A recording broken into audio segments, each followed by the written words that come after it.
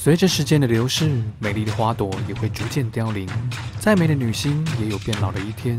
岁月除了在她们身上留下了些痕迹，更是将她们刻画得更有韵味。年轻的女孩拥有的是青春、美貌、活力，而她们更多的是知性、成熟、技术老练。今天放轻松就带来日本五十一位五十代女优，她们可是一点都不输年轻的女孩呢。现在就来看看你认识几位吧。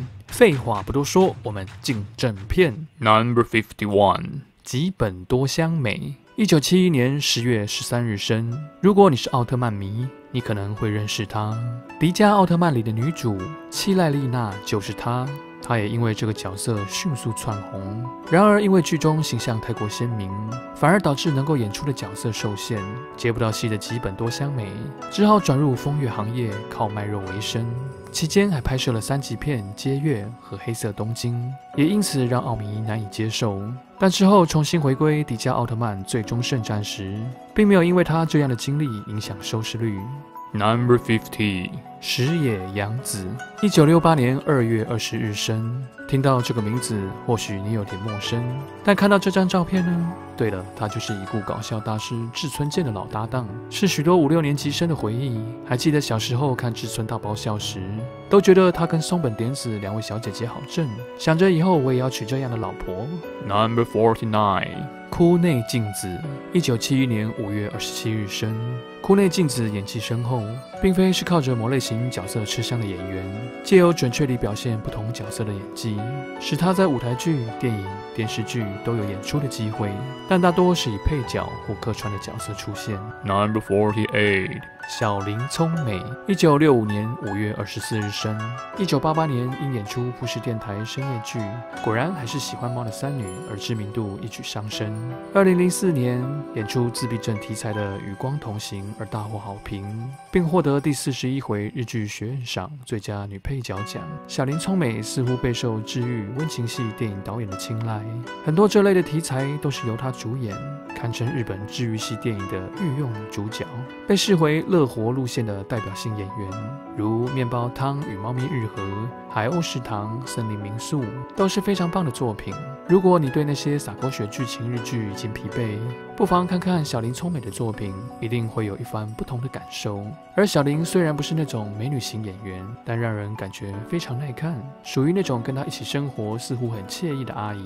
Number forty seven，西田尚美，一九七零年二月十六日生，曾获得日本奥斯卡最佳新人奖，出演过《白夜行》《向阳处的她》《白色巨塔》《坡道上的家》《魔女的条件》等多部电视剧。之前看《半泽直树二》，她在里里面饰演企业金融第四部次长，与芥雅人有许多交手戏，还有在《相棒》里面饰演的平成哦毒妇远风小叶子，觉得她很适合演这种冷冷的角色啊。年轻时的西田也是很美的，常有人用长得很像深津绘里的女生来形容她，但深津绘里许多年来都是女主角色，而西田早早就被封为明绿叶，看来长相类似，命运却大不同呢。Number forty six，松田美由纪，一九六一年十月六日生。她是已故日本知名男演员松田优作的第二任妻子。她参演的首部电视剧叫做《侦探物语》，在当时引起了高度讨论，获得高收视率。之后又参演了《西部警察》《北国之恋》等多部影视剧。说到这里，大家可能对松田美由纪还是有点陌生，但说到她的儿子松田龙平，还有松田翔太，大家可能就比较清楚了。前一阵子在大豆田永久子与三个前夫中，松田龙平饰演松隆子的第一任丈夫。那时我就在想，如果我是女生，我应该也会很爱这种 type 的。而次子松田翔太就是经典日剧《诈欺游戏》中的男主，而他的女儿 Yuki 还有媳妇太田丽菜也都在演艺圈。话说他们家怎么都是单眼皮，但都很帅耶，很好看啊。Number forty five，富田静子，一九六九年二月二十七日生。十六岁时参加了电影《爱死十六岁》的女主角试镜选拔，并从十二万名候选人中脱颖而出。之后在寂寞的人中一人分饰两角，一要成为当时的红星，当时的富田仅出道两年。然而早红的他，后来的作品皆未能超越《寂寞的人》，电视剧的收视率也远不如预期，人气也逐渐被同事务所晚辈深津绘里、奥山佳惠超越。后来的角色多以配角居多，如在我的家政夫主先生中饰演多部未华子的上司，或三十五岁的少女中田中哲司的再婚妻子。Number forty-four. 片桐入，一九六三年一月十八日生，五官散发着阳刚的气息，并不是什么美女，但在日本可是非常有名的喜剧演员。向经理曾这样称赞片桐入：她是日本第一的喜剧演员，因为光站在那边就已经很逗趣了。她身上具备所有的才华。在海鸥食堂，她饰演一名因为随意在地图上指到芬兰，展开说走就走旅行的女孩。并在异国偶遇了来到这边开小餐馆的老板娘，而有了一段有趣的故事。这部片也是和小林聪美合演的疗愈神片，真的很不错，大家有机会也可以看看。Number forty-three. 有森也实，一九六七年十二月十日生。我们姐姐年轻时也是美美哒。她是那个在《东京爱情故事》里把永尾完治从赤名莉香身边夺走的女配，因为演出了这一个角色，结果被全日本看过《东京爱情故事》的人讨厌的不得了。她曾经在新宿车站被人暗地里投过石头，还真的是无妄之灾啊！Number forty-two. 藤田朋子，一九六五年八月三日生。一九八七年音乐剧《悲惨世界》初舞台，在一九八八年因为在 NHK 日播连续剧里首次出演，知名度得到提升。一九九零年开始出演《冷暖人间》，因为很好的诠释了本间长子这个角色，确立了演员的地位。二零零五年四月二十九日与手风琴演奏者桑山哲也结婚，非常喜欢音乐，也拥有自己的乐队，自己担任主唱，开过不少 live。Number forty-one. 伊藤和之，一九六六年十二月七日生。话说这部就是伊藤开了超过三十年的尼桑老车西马，看起来真的是亮晶晶的。当时他花了五百万现金买的，他去定期保养时被车商大大称赞，还送了他一盆花，但也被网友酸抠门。他最出名的是以超级战队系列特摄作品《授权战队机器连者》中饰演真相梅西。以及在二零零九年的市战队真剑者饰演白石祥子，伊藤姐姐年轻时也是超美的哦。Number forty. 藤吉久美子，一九六一年八月五日生，年轻时也是非常清秀美丽，但这样的可爱也会变卦。一九八二年，久美子靠晨间剧一炮而红，傲人的上围被推测有依照杯。曾和歌舞伎演员板东正之助结婚，但仅维持五年就离婚。后来再婚又被曝不伦恋。九美子趁老公在京都录节目，私会电视台制作人，两人入住同间旅馆。后来男方夜里到她房间过夜，老公太川洋介那时还帮她说话，没这种事情吧？但看到这痛哭流涕的照片，就知道怎么回事了。Number thirty-nine. 菊池桃子，一九六八年五月四日生。菊池桃子几乎是日本艺能界有史以来窜红最快的女性偶像，曾被视为松田圣子的接班人。出道后以清纯动人的形象收获了大量人气的菊池桃子，于一九五八年二月在日本武道馆举行了演唱会。参加演唱会的观众人数甚至超过了披头士乐队一九九六年在武道馆举办演出时的人数。有段时间，各大小书店报摊、各样交通运输工具、各市县大小告示板都布满着桃子的大海报。那时，他单曲的销量仅在松田圣子以及中森明菜之后。然而，随着快速的窜红，带来的却是大众的审美疲劳。为求突破，1988年与松浦义和等人组成摇滚乐团，并担任主唱，但乐曲风格实在与他原本风格差异太大，观众不买单，导致人气衰退。Number thirty-eight. 横山惠，一九六九年九月二日生。十七岁的时候，在集英社 Young Jump 的女王竞赛预赛会场被星探发掘，一个月后被选为《北国之恋》一九八七初恋的女主角，之后出演了《雨夜的使者》《沉睡的森林》等电视剧。二零零二年，在富士电台播出的电视剧《珍珠夫人》一剧中饰演女主角唐泽琉璃子，可说是她的代表作。Number thirty-seven. 草艺明代，一九六五年五月十日生。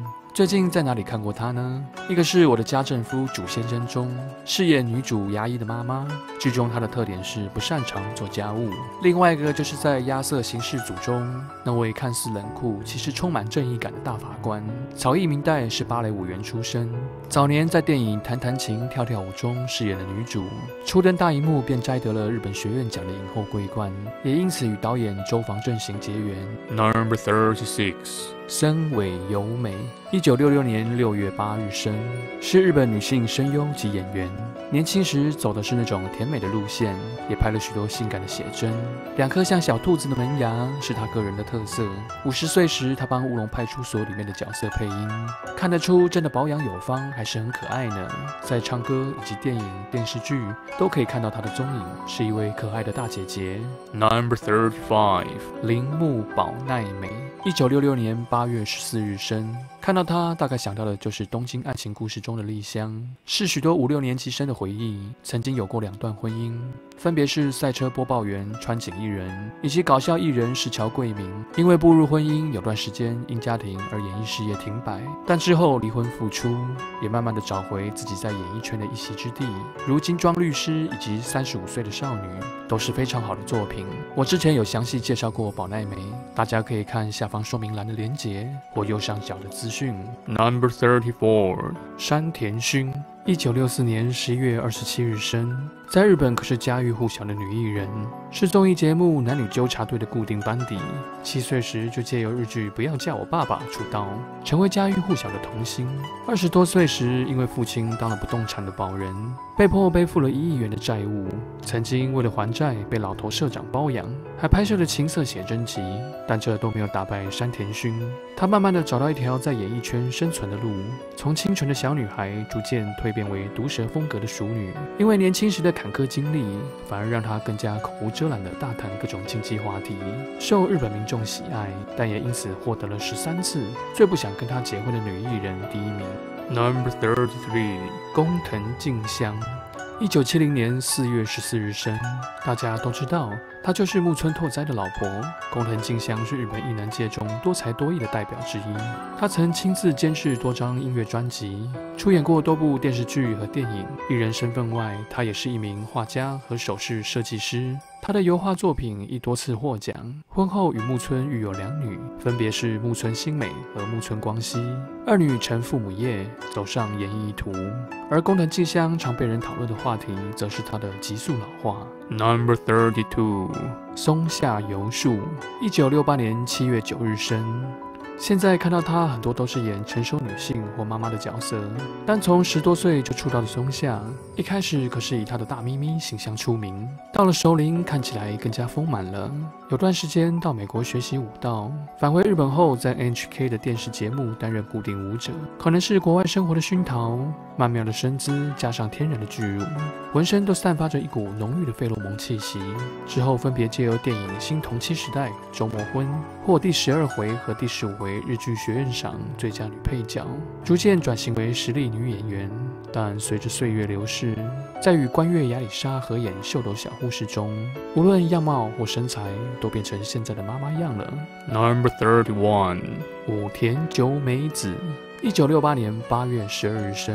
说到武田久美子，最令人印象深刻的就是她用贝壳遮住三田的性感照片吧。九岁出道，随后以十分清纯的少女形象活跃于日本乐坛。有人说，久美子的身体集合了东西方女人的全部优点：一头茂密的长发，浓眉大眼，挺直的鼻梁，紧致的赤唇，丰满的身材，健康的肤色。